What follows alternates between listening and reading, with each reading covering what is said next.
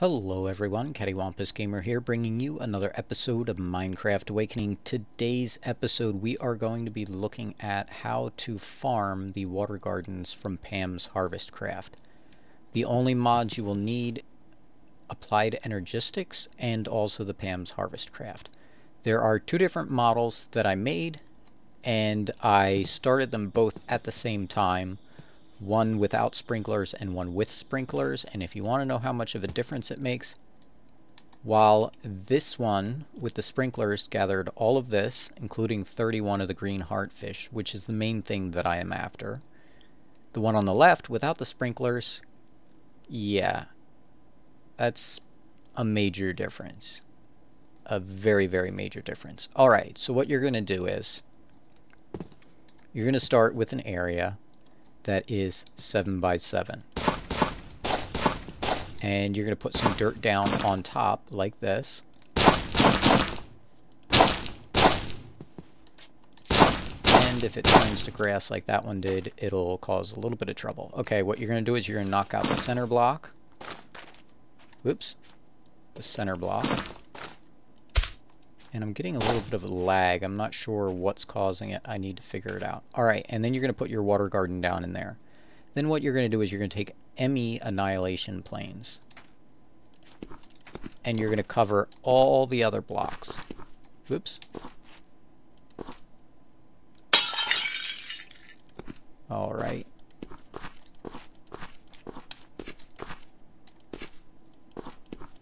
I realized while I was building this farm that I don't need as many green fish as I thought I needed, but I still want to do this tutorial anyway because when I was looking for it earlier on, I'm like, nobody had a way to farm the gardens. It's just strange.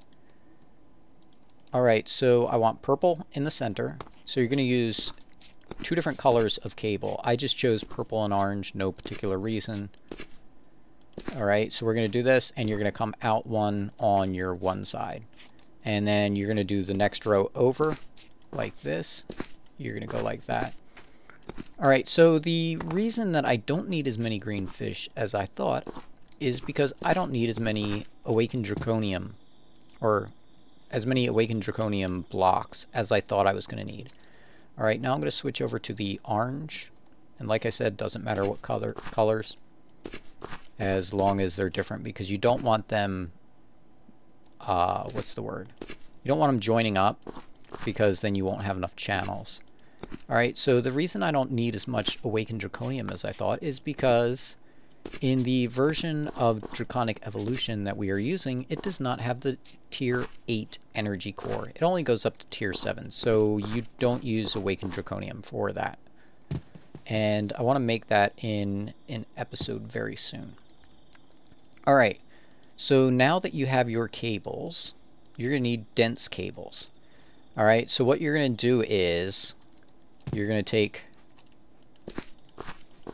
these like this and connect those up. Then you're going to take your other one and you're going to connect it in front like this. Alright, and then what you're going to do is you're going to take your ME controller, you're going to put it down here like this, and the, cab the cables are going to connect up to it. Then you give it a power source. I'm going to use a Californium RTG that's 500 RF per tick. I think this uses approximately 120 RF per tick. I'm not sure if that spikes when it's if it uses extra power as it's breaking blocks. So you can see these are still here. And the reason we put the dirt there was so that we had something to place the, the annihilation planes on. Alright, then we're going to need, let's see, I'm just going to use the purple cable because it won't connect up with the orange. And then what I'm going to do is just put an ME terminal here. This is not necessary.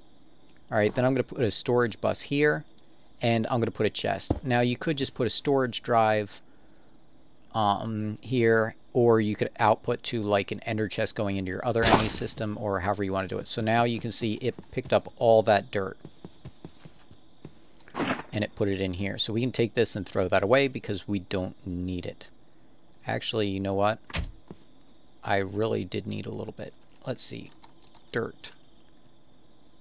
So what we're going to do is we're going to come out. You can see I have this outline here. So we're coming out three blocks from where the plants can grow. So we're one, two, three, like this. Then we're going to go up two, whoops, and three.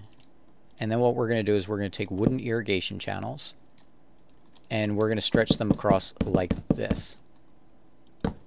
And we're going to go one, two, three. We're going to go right to here. So is that... It's hard to tell. Alright, let's use dirt. One, two, three. Nope, one more. I thought that's what it was. Alright, like this. Then what we're going to do is we're going to grab our wand like this. And if it's going to give us the hitbox so we can actually do this, we're going to stretch this out. Okay. Sometimes this wand can be a little bit funky.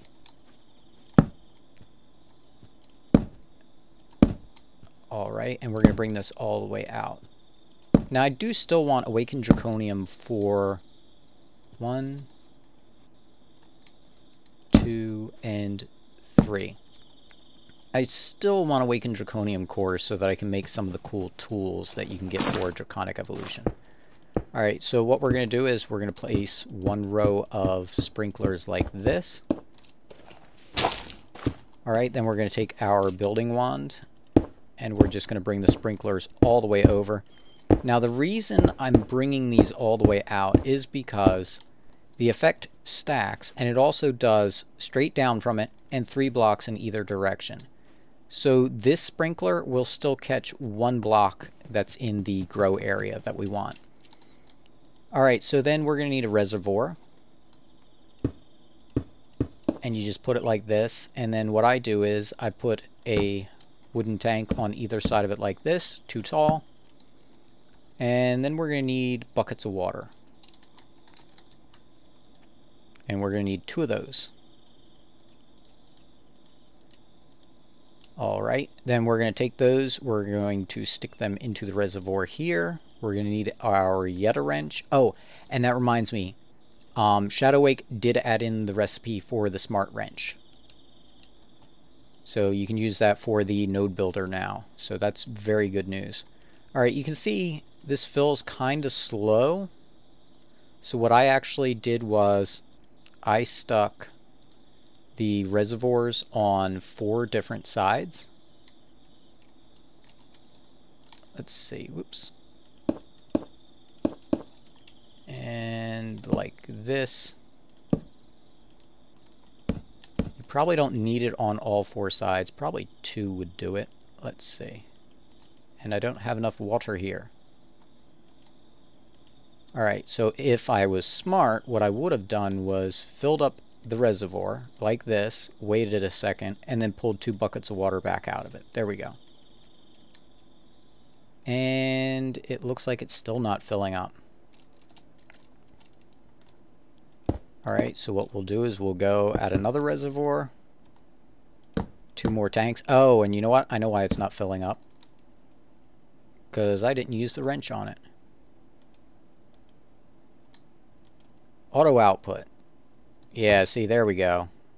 Nope, still. Auto output.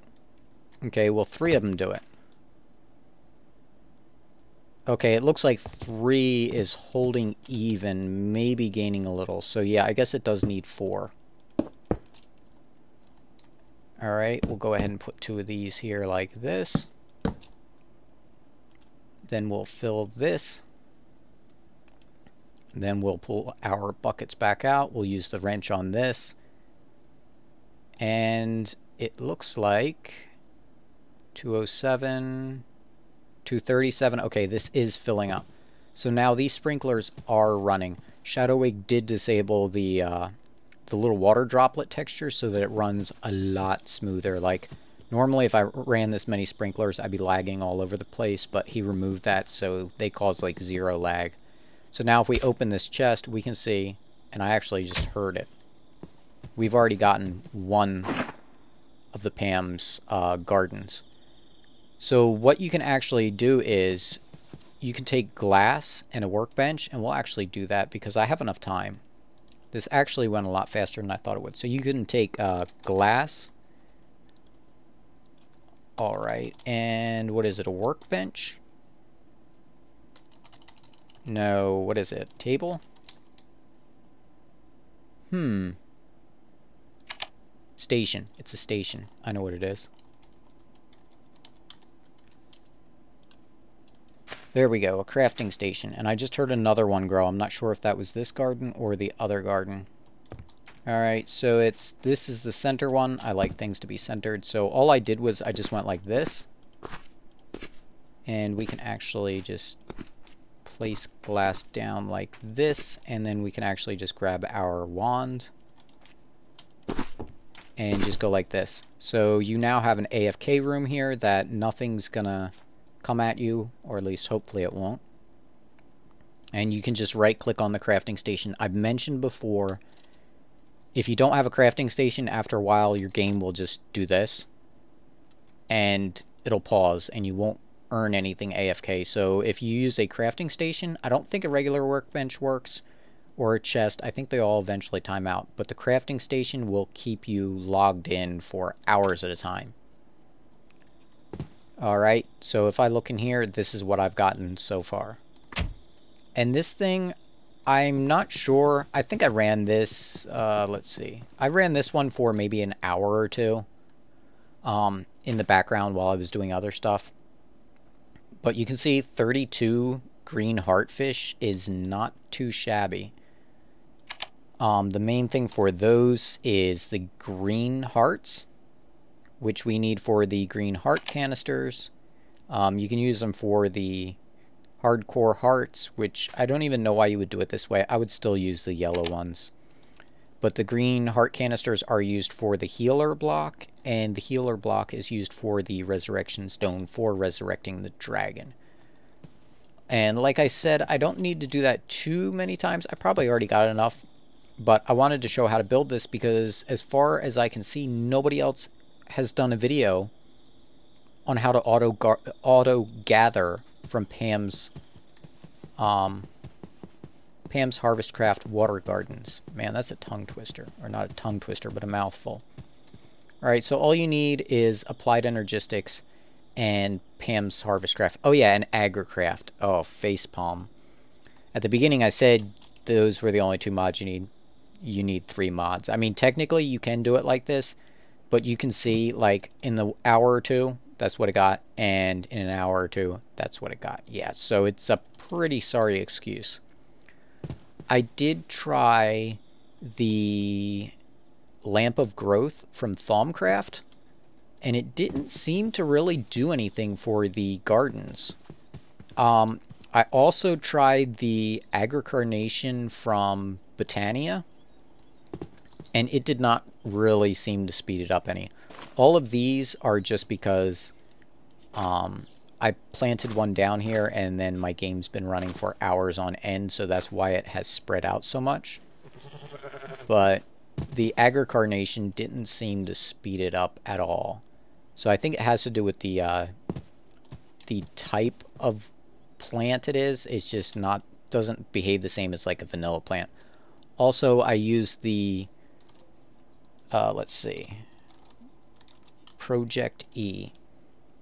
I use the Harvest Goddess Band. Unfortunately, that will break up the garden, so there's no way to use that to automate and speed up the growth of those. But I think that's going to do it for this episode. Hopefully you enjoyed it. If you did, leave a thumbs up and tell a friend. All right, until next time, this is Caddywhumpus Gamer signing off.